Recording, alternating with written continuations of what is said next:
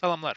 İndi CSS-də spesifiklik iyerarxiyası dediyimiz bir mövzuya baxacağıq. Bu nə deməkdir? Adətən biz bir elementə fərqli-fərqli CSS-lər tətbiq eləyə bilirik və bunu eləyəndə biz ona ID verə bilərik, class verə bilərik və ya inline şəkildə yaza bilərik. Hətta atribut selektorları istifadə edə bilərik. Bəs eyni elementə fərqli-fərqli üsullarla CSS tətbiq eləyəndə hansı tətbiq olunmuş sayılır? Yəni hansı xüsusiyyət işləyir? Bax buna həmin spesifiklik iyerarxiyası qərar verir. Nümunə üçün sadə şəkildə bir dənə P elementi yaradaq və bu P elementinə bir ID verəcəm, bir class verəcəm.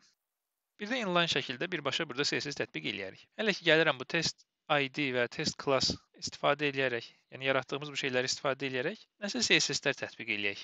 Deyirəm ki, test ID-nin color olsun, tutaq ki, blue.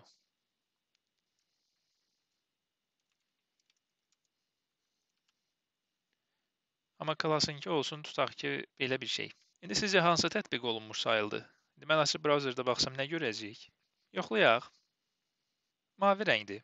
Deməli, bizim ID-yə verdiyimiz xüsusiyyət tətbiq olunmuş sayılıb. Məsələn, mən gəlib burada birbaşa elementin özünə burada style qeyd eləsəydim ki, məsələn, style-ın içində coloru olsun green və yoxlasaq, görürük ki, bura yazdığım tətbiq olundu. Əsas 4 kateqoriya var.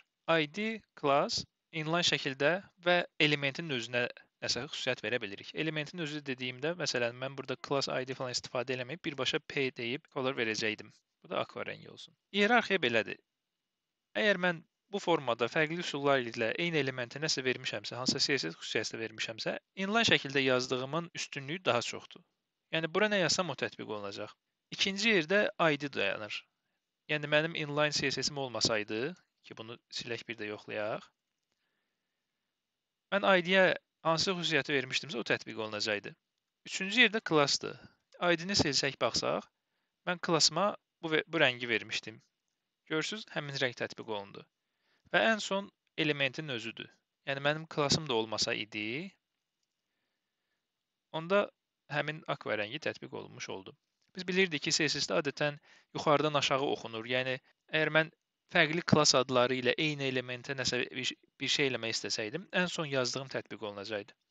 Amma burada eyni klass, eyni aydan söhbət getmir. Fərqli üsullarla elementi seçib ona CSS tətbiq etməkdən söhbət gedir deyə bu iyerarxiyanı yaddan çıxarmamaq lazımdır. Qısaca bu qədər.